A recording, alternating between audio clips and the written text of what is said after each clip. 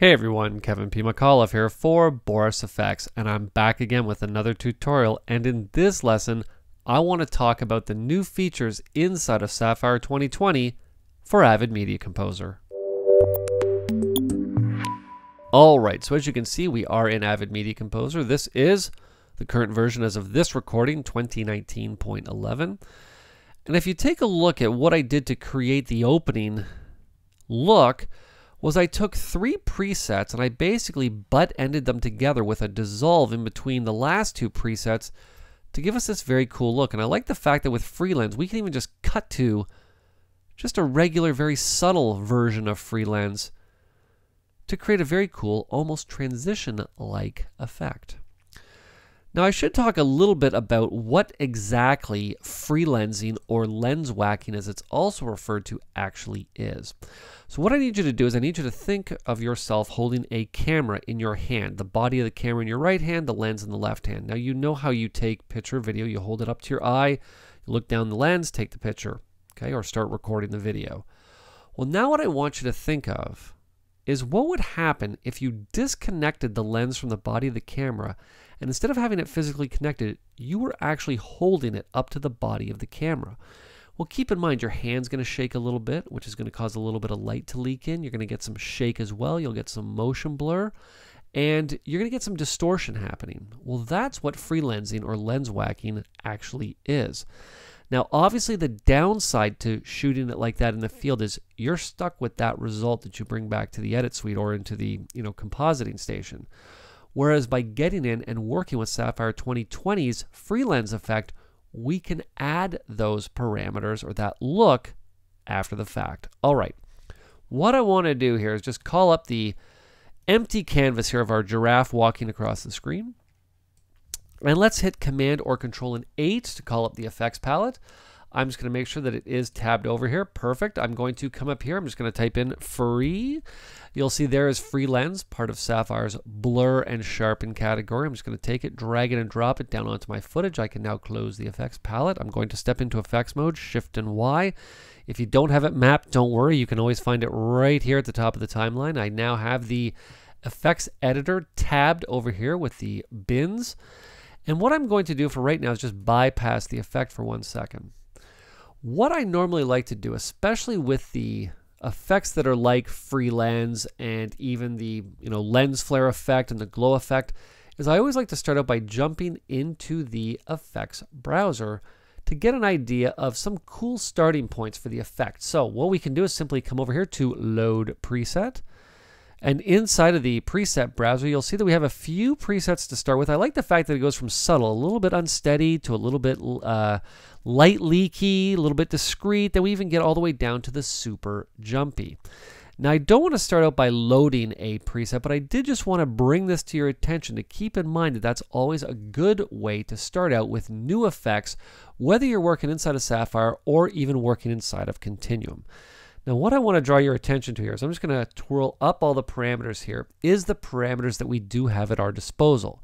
We have the ability to get in and work with the lens manipulation, defocus, distortion, light leaks, shake, and vignette. Now I'm just going to turn all of these off except for light leaks. All right, perfect. Now, before I get in and talk about light leaks, I want to draw your attention to the widget in the middle of the screen. And what I want to do is just grab the center point of that widget and start dragging over here to the left a little bit. Now, you'll notice that as I drag, not only is the image being shifted because we're obviously manipulating the lens, but we're actually also getting a lot more light leak happening here as well. Okay, now I think that's actually a good place just to take a little bit of a sidestep and backtrack for one quick second because you'll remember in the introduction I talked about exactly what free lensing was or lens whacking, which is you have the body of the camera, you have the lens of the camera, you put the two of them together, you're trying to hold them. And what's actually happening is that the manipulation of the lens is what is impacting parameters like light leak, like vignette basically as the lens is being manipulated or distorted, those parameters or those basically in-camera effects are being adjusted as the lens is being adjusted. So what makes this effect unique is not the fact that we could probably get in and build something like this inside a builder, having a vignette, having the shake parameter, having the light leak, But what's very, very cool about this effect is that if you come over here and take a look, the lens manipulation parameter, as we manipulate the lens, will directly impact parameters like light leaks if we have link leak to lens parameter turned on. So basically, as the lens is manipulated and dragged around, it's going to directly impact the light leak. It's going to directly impact the vignette. Now, I don't believe it's impact. No, shake. Nope, nothing in shake. And let's just double check distortion. You'll see distortion, link distortion to lens. So this is what makes this effect very, very cool. The fact that really, if you think about it, if you get in, set the parameters the way you want them for those different uh, details like distortion, like light leak, like vignette, then you can get in and manipulate that lens and everything is going to be controlled by what you do with the lens, how you animate that lens, which makes this a very cool, very powerful, and very unique effect. Now, I'm not a big fan of the very bright white light leak, so I'm just going to twirl down the light leak parameters. I'm just going to navigate down here, and let me just point out that the light leak parameter alone, look at how many individual parameters you can get in and adjust inside this one light leak details drop down. All right, there's just an absolute ton. And like I said, I want to get in and just change the colors up a bit. So let's start with yellow on the outside. We'll go to orange in the middle, and I'm just going to come to red as the center color. Okay. That's looking a little, that's actually looking much nicer than it did before. Now, keep in mind, like I said, depending on how we set this up, we can have, I'm just going to scroll up a little bit here, we can have the lens directly impact the light leak, or what we can do is turn that off and have the light leak impacted by what we put in in the parameters here. So for example, we can just crank the light leak intensity up here. I can have the size vary. There we go. Okay, we can even get in, adjust the hotspots. Now what's important to keep in mind is you'll notice that as I'm adjusting these parameters, no keyframes are being added unless I come in and actually grab the little on-screen widget here to come in and to start to create an animation by adding a keyframe. Now, where am I going with this? Well, where I'm going with this is we all know how to get in and keyframe inside of Media Composer, fairly straightforward. However, another new feature that I'm going to talk about in just a second inside of Sapphire 2020 is integrated Mocha tracking inside of a lot of effects inside of Sapphire 2020. So what I'm going to do is just bring your attention right up here to where we have the edit Mocha parameter. Now, like I said, I'm going to talk about that specifically in the example of the lens flare effect inside of Sapphire, so keep that in the back of your head for now. But what I just want to, again, draw your attention to is just the absolute ton of parameters you can get and adjust. For example, shake. You'll see we can drop that down, a ton of shake parameters. We can then come down, even add vignettes, which is just, to be honest, these are just an unbelievable amount of parameters to add to this shot to really take it to the next level. You can be as subtle or as crazy as you want, like what I have here, and get a different result every time. And keep in mind, for every different result you get, get in and save a preset inside the preset browser because this way you'll have them to go back to literally with the click of a mouse. Okay, so let's now move on. And what I want to do now is I want to talk about integrated Mocha tracking across some of the effects inside of Sapphire. Now, what effects are included? Well, to get rolling, 10 effects include integrated Mocha tracking, including lens flare, edge rays, rays, Luna, grunge, spotlight, aurora, zap, muzzle flash, and of course the one that we just talked about, freelens. Now in this example, what I want to do is I want to talk about the lens flare effect. So what we're going to do is we're going to come over to our Mocha Sapphire example here, and you'll see there's our Statue of Liberty. And what I've done is I've gotten in and I've locked in that lens flare by tracking it inside of Mocha. So how did I go about doing this? Well, let me show you. What I'm going to do is just double click on my sequence start here, and I'm just going to remove the effect. Very nice. And let's hit Command or Control and 8, and we're just going to type in flare. And what we want to find here, there we go, is S lens flare, which is part of the sapphire lighting category. I'm just going to take it, drop it in there. Now you'll notice right away, I, I always love the default lens flare just because it just looks so good. But what we want to do here is we want to simulate fire on top of the Statue of Liberty or a very bright, uh, almost like a, a, the light at the top of a lighthouse. So again, where am I going to go? I'm going to go to the preset browser. Why? Because there's the perfect preset in here for me to use exactly for this purpose. I'm just going to scroll down just a little bit here. Now, the one I was originally going to go with was this Canon one, but then I saw the California Sun and I'm like, oh yeah, that's the light that's going to go at the top of the Statue of Liberty. So once I have it selected, I'm simply going to say load. Now, I'm not going to adjust any parameters right now. I'm only going to worry about the tracking. So let's bypass the effect and what we're going to do is simply come down here and click on Edit Mocha. Now, I want to point out that right above Edit Mocha is the Edit Lens parameter, which will take us into the Flare Designer if you want to get in and take this flare and start altering it to really create the flare that you need to have. And keep in mind, once you start creating different flares, save them in that preset browser so you can come back to them at the click of a mouse. All right, so let's come in and say edit Mocha. Now, one thing that I love about integrated Mocha inside of Continuum and Sapphire is just how user friendly they've made it. I'm going to be honest, I know a lot of editor friends of mine are not the biggest fans of getting in and doing tracking inside of Media Composer, just because, to be honest, it's a lot of work and it never quite works out the way that you want it to work out. But using integrated Mocha tracking is probably the easiest thing that you could ever do. Now, right now I'm parked sort of in the middle of this shot. Now, I could go back to the beginning. To be honest, I'm not even going to worry about that. We're actually just going to start out exactly where we are right here. Now, for what we're doing right now, I'm only going to worry about tracking translation. I'm not going to worry about rotation or scale or anything like that.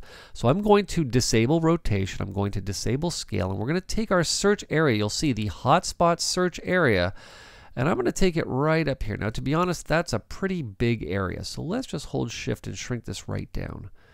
Now, if you're new to Sapphire and you're new to Mocha, what's important to keep in mind is that there's two shortcuts inside of integrated Mocha, or really any of the versions of Mocha that you'll be using. And these two are ones you're going to want to remember, Z and X. Z for zoom, X for pan. So if I hold Z down and I click on the screen, and I start zooming in, you'll see that I can zoom in and out based on where I actually have the mouse click. So now I can pan over like such.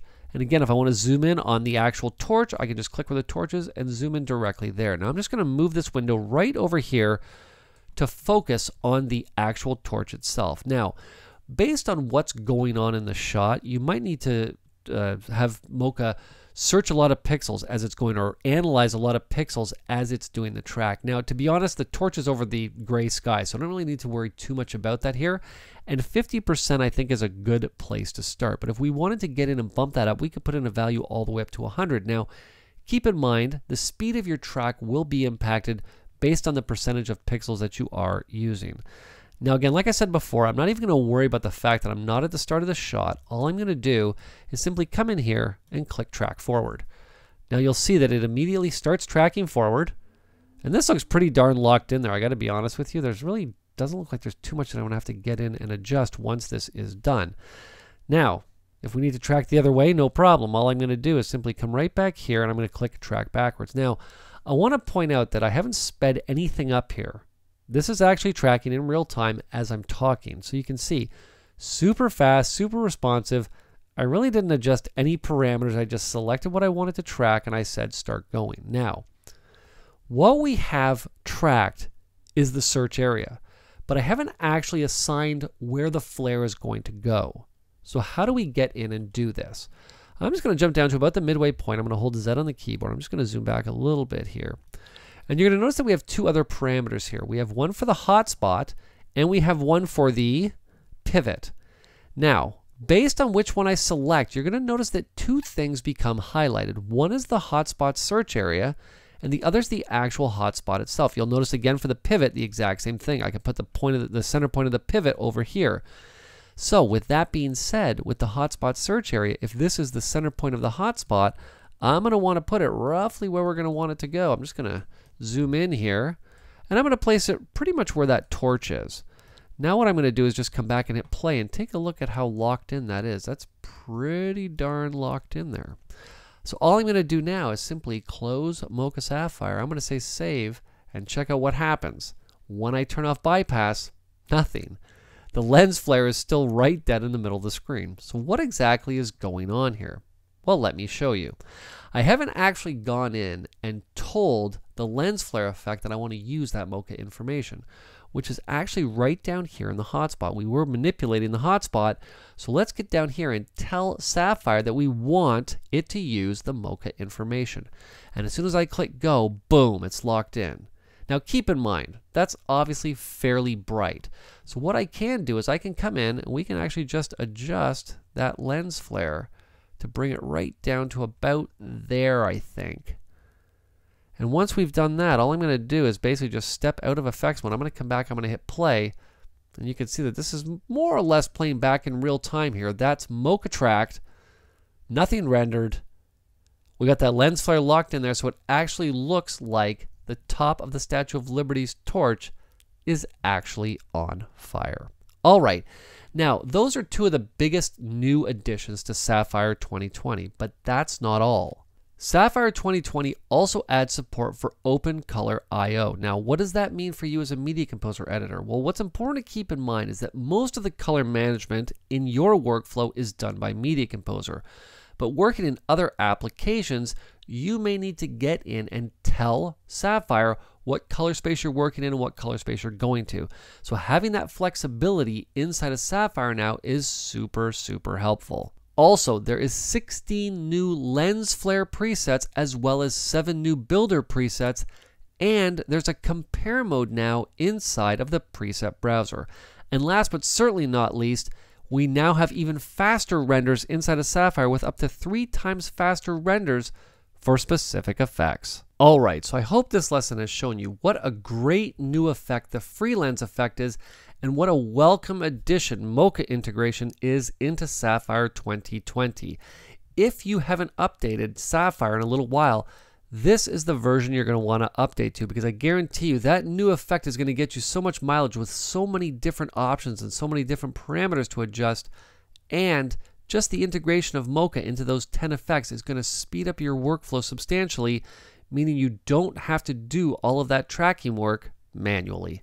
Now, don't forget if you subscribe to Sapphire, you can download the 2020 update right now. And for more great training, don't forget to check us out on the Boris FX YouTube channel. This has been Kevin P. McAuliffe. Thanks a lot for watching.